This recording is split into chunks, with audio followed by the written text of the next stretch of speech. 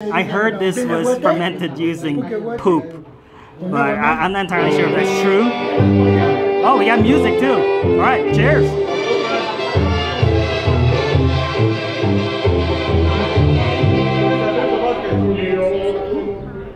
I'm currently in Mexico City, and after spending most of my morning in this quiet little neighborhood of Coyoacan, I find myself yearning for something a little bit more adventurous. Okay.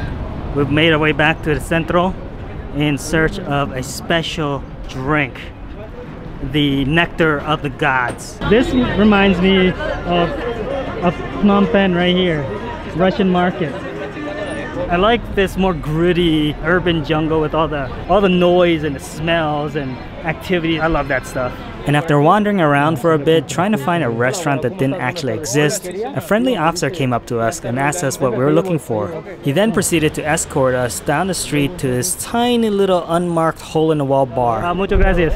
Cuidado, cuidado con tu camarita y pide permiso y toda la onda, ¿no? Ooh, okay. And as we walk in, everyone in the bar turns around and looks at us, thinking, what the heck are these two gringos doing here? But fortunately, like most working class people you find day drinking at bars, they're really friendly. drink this whole thing like this? What is it made from? I heard this was fermented using poop, but I, am not entirely sure if that's true. Oh, we got music too. All right, cheers. When we were doing some research trying to find some information about this nectar of the gods, I found some articles about how it was fermented using poop or maggots, and we were trying to confirm this, but no one could give us a clear answer. Mm. Tastes kind of like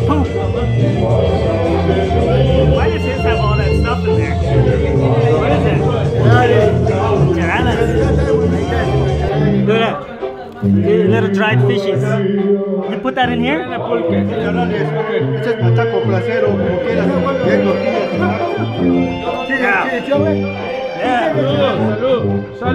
So, what exactly is this drink, and is it really fermented using poop?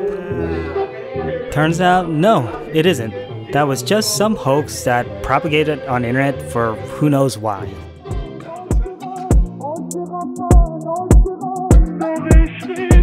Pulque, otherwise known as nectar of the gods, is actually made from the sap of the maguey plant.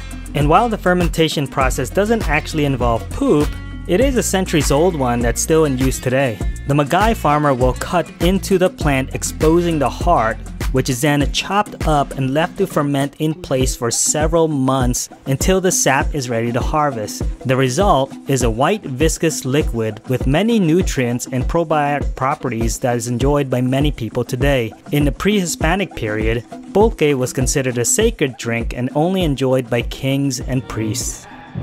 Señorita, a la orden, ¿la llevo? ¡Ay, no! I love that they serve it in these plastic pitchers. Hello, hello. The people are really friendly here. Muchas gracias, amigos. Adios. And there it is, YouTubes. Pulque, a mildly intoxicating probiotic drink that you have to try the next time you're in Mexico City. Do we even know what this is called? It's a pulqueria, it doesn't have a name. That's it. Little hole in the wall joint. And that's it YouTubes. Thank you for watching. If you like this video, go ahead and check out the rest of the videos in this series by clicking on this playlist here.